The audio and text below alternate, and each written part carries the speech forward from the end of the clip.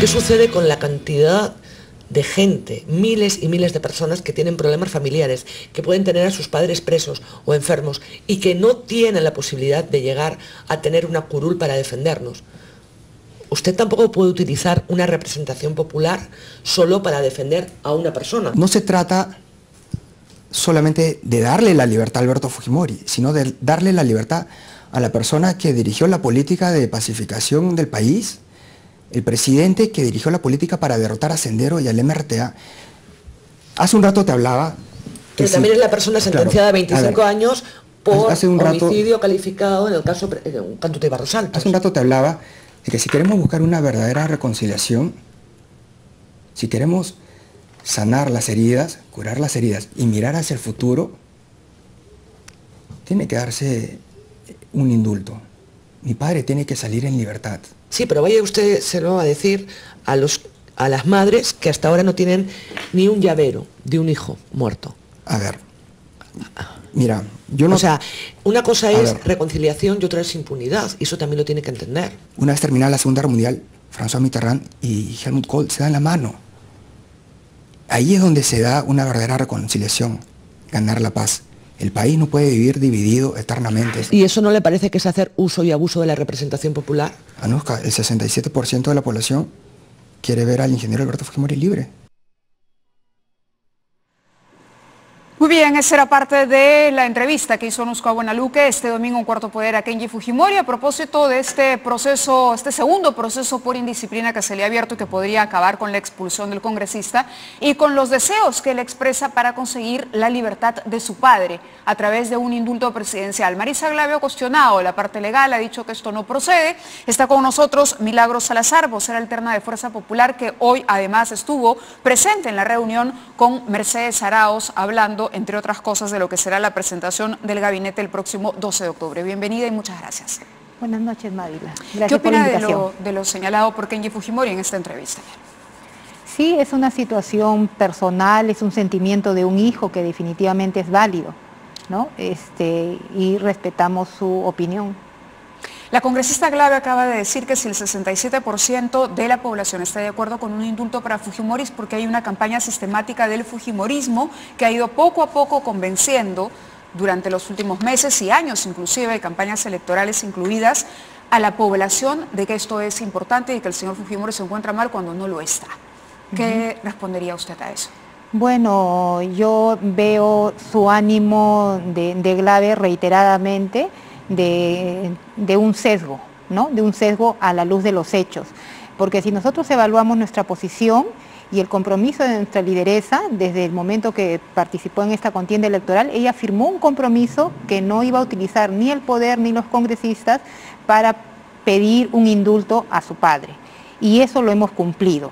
Los que en algún momento y en reiteradas oportunidades lo han, lo han puesto en agenda, han sido los partidos políticos este, contrarios o también el Ejecutivo. El Ejecutivo en varias oportunidades, en situaciones de crisis, inclusive este, Bruce ha manifestado en dos o tres veces, yo no estaría de acuerdo que muera en la cárcel. Ellos son los que lo han puesto en, agenda. Nosotros, cuando presentó este, Viera el proyecto de ley direccionado para Alberto Fujimori, nosotros definitivamente en comisión le dijimos que no. Entonces no es una agenda de nuestro partido, nosotros tenemos un compromiso con la población, nosotros sabemos responsablemente que no podemos presentar un proyecto de ley direccionado para una persona. Todos los proyectos de ley que nosotros presentamos es en beneficio de la ciudadanía. Pero Kenji Fujimori forma parte de la bancada y lo que ha reclamado es justamente la falta de lealtad o la falta de apoyo de congresistas que salen en campaña con la foto de su padre y que luego se olvidan de él una vez que llegan al Congreso de la República. ¿No es su caso? No, muchos de ustedes? Mm, no, eso no es, no es correcto, pero por eso yo decía, yo entiendo la posición de hijo. Él más que hablar como congresista, él está hablando como hijo. Y yo creo que cualquier hijo, así como Kenji Fujimori está jugando un partido aparte por su padre que es válido y entendible, también nosotros entendemos la posición de nuestra lideresa. Ella tiene una gran responsabilidad y un, gran compromiso con el país. Ella también quisiera abogar, quisiera hablar de su padre, pero sabe que tiene una responsabilidad mayor con el país. Entonces, nosotros siempre hemos dicho que va por dos caminos separados. Una cosa es la labor de congresista, una cosa es fuerza popular y otra cosa es particularmente que quede en el ámbito familiar. Siempre se ha manejado que esta situación del ingeniero Fujimori debe manejarse en el ámbito familiar y nosotros respetamos ese pedido inclusive del ingeniero Fujimori que él dice no quiero arresto domiciliario, yo quiero salir ¿no? Este, a través de un indulto, pero eso también nosotros entendemos que no nos corresponde a nosotros, ni tampoco podemos dijo que era ilegal la posibilidad, que era ilegal el, el, indulto, porque no se cumple con determinados requisitos. ¿Para usted es legal o ilegal esa posibilidad? Yo no puedo adelantar una opinión en ese sentido. ¿Por qué? Porque es potestad del presidente. Aquí no, pero debe dice que hay una ley que dice que, por ejemplo, los acusados o los sentenciados por extorsión, secuestro, no pueden postular a un indulto humanitario. Por lo tanto, Fujimori, que purga condena, entre otros delitos por ese, no podría hacerlo. ¿Para usted eso vale o no? ¿El presidente tiene o no tiene la facultad de indultar a Fujimori? Sí, tenemos dos tipos de indulto, el indulto común y el indulto humanitario. En cualquiera de los dos casos, los requisitos para no, este, el criterio para no este, hacerse beneficiario del indulto es si es este, por lesa humanidad, que no es una de las sentencias del ingeniero Fujimori, y el otro punto es por secuestro agravado y por violación de los, de, este, sexual. Eso no califica para él. Y otro de los puntos, eso es exclusivamente del presidente. Nosotros estamos trayendo a debate, estamos utilizando tiempo y energías este, para un caso particular que debería ser este, solamente autonomía plena del presidente para que él evalúe sin presiones, sin condicionamientos de ningún aspecto y de ningún partido político, porque lo que están trayendo a la política es, es grave. Grave lo está tocando como una agenda política de país y esa no es una agenda política de país. ¿A usted no le parece que sea parte de una agenda política? A mí no me parece que sea una agenda política de país. Nosotros lo hemos rechazado desde, desde de plano ¿Pero tendría un impacto político la salida de Alberto Fujimori o no?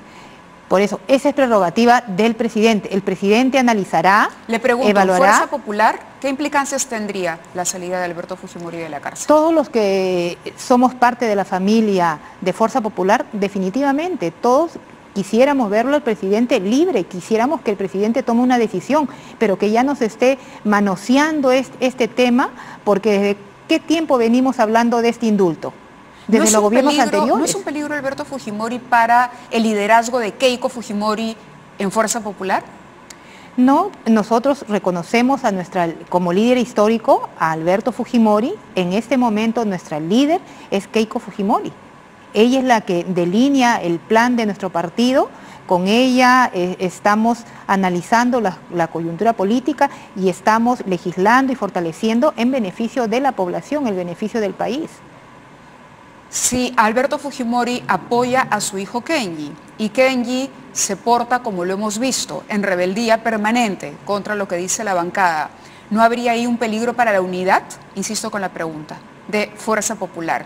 Si Alberto Fujimori le otorgara su respaldo a Kenji y, ustedes decidieran que hay que expulsarlo, pero Alberto dijera que no, que no corresponde el, que, echen a Kenji Fujimori del partido, entonces el líder histórico se pondría en contra de la mayoría de los que se han pronunciado a favor de castigar a Kenji Fujimori. ¿Qué pasaría ahí? Ahí, mire, si, tuviéramos una partida, una, una, bancada partida, ya con este, esta ley y la sentencia del TC han tenido oportunidad dos días para que los congresistas que tuvieran intención de salirse de nuestro partido lo hubieran hecho y hubieran podido formar bancadas. Nosotros estamos afiatados, estamos integrados, sí, como cualquier bancada, tenemos nuestras diferencias en diferentes este, lineamientos, en el manejo de la política, en educación, en salud. ¿por qué tarda tanto la decisión de la sanción para Kenji Fujimori? Se habla de un mes para evaluarla. Si las faltas son tan claras, ¿por qué entonces no se le expulsa de una vez? Son 15 días. ¿No se está esperando en la eventualidad de que se produzca el indulto, como se ha dicho en las próximas semanas, votar a Kenji Fujimori sería hacerse el harakiri políticamente. Entonces, pareciera que el Fujimorismo está ganando tiempo a ver qué sucede en este próximo mes antes de pronunciarse. Pero si la falta es tan grave, ¿por qué entonces no lo han expulsado ya? Porque este, la, la medida disciplinaria eh, tiene un proceso, tiene un proceso que es un promedio de 15 días. El 28 de este mes está citado Kenji con a través de un documento donde él tendrá que asistir, tendrá que rebatir, tendrá que presentar sus pruebas, la comisión analizará la documentación que él presente, tomará una decisión y arribará a una conclusión y a una recomendación. Y esa recomendación lo presenta en bancada, que tenemos la reunión de los días martes.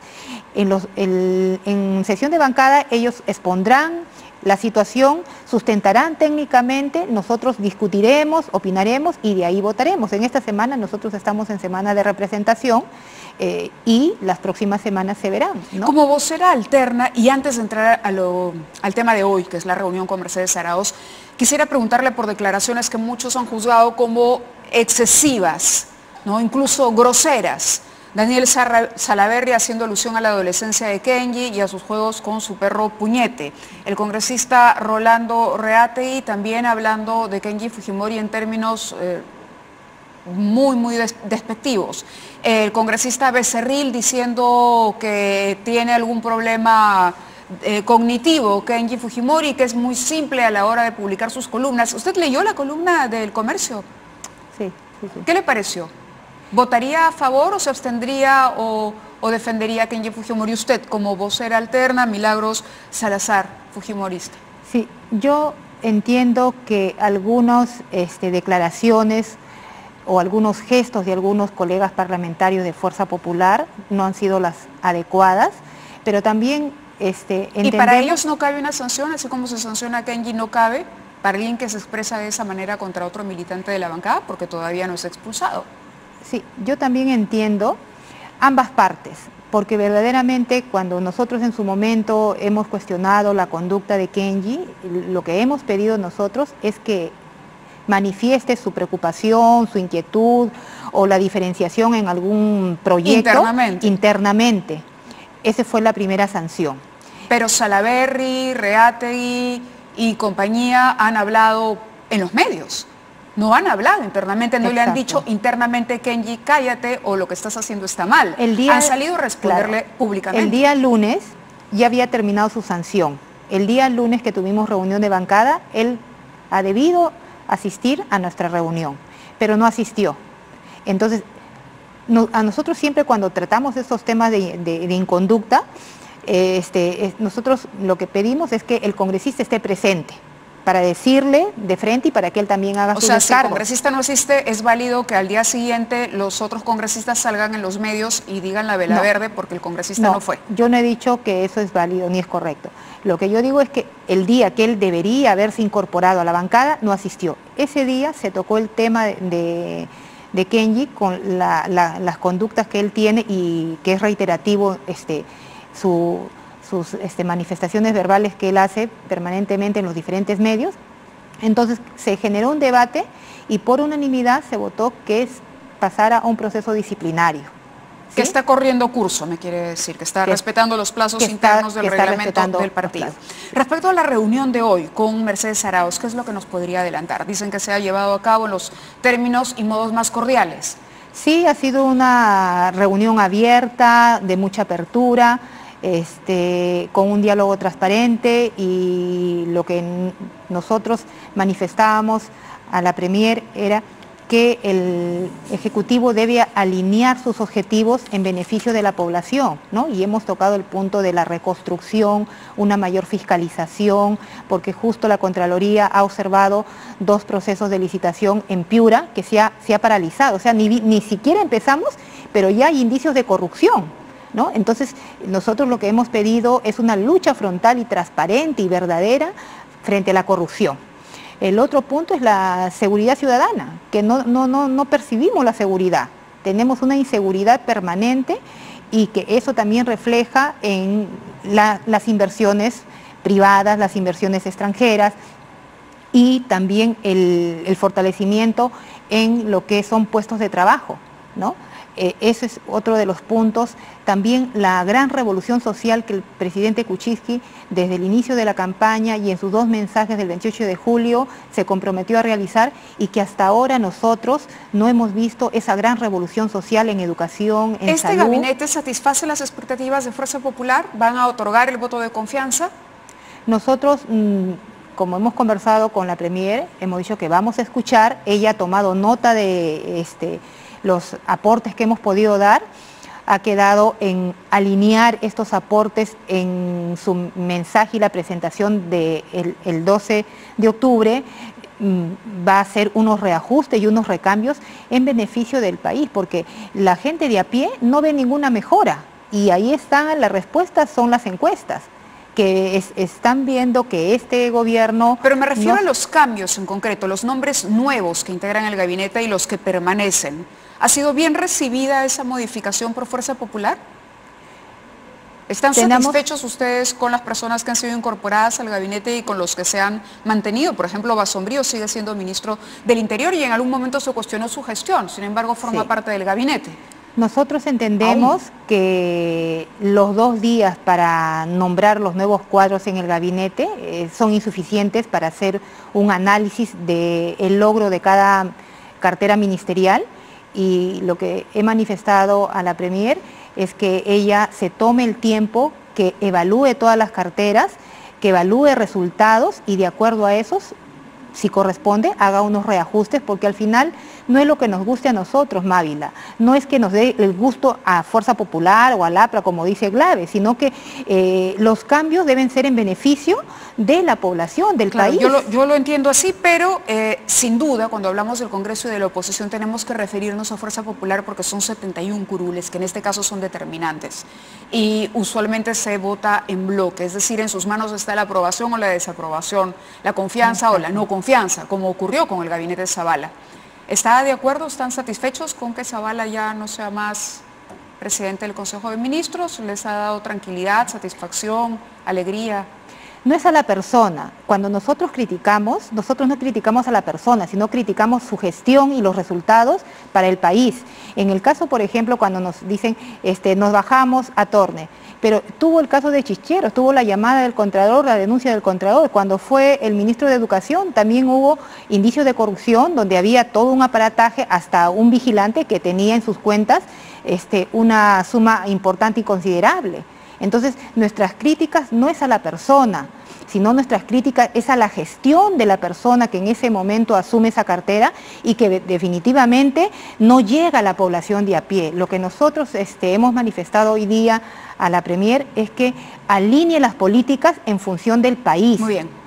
Eso es lo que nosotros hemos pedido. Muchísimas gracias, congresista, por haber estado con nosotros. Milagros Salazar, vocera alterna de Fuerza Popular, nos ha acompañado esta noche de lunes.